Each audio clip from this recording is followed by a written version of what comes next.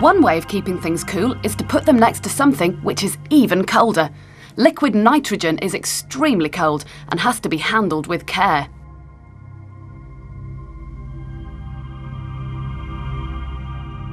Place almost anything into it and it freezes immediately. Stretchy rubber gloves become as brittle as potato crisps.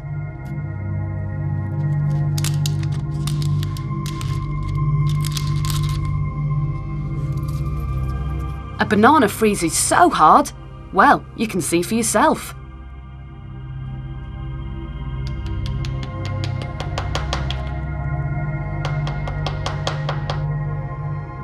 This is mercury. At room temperature, it's a liquid. What do you think will happen?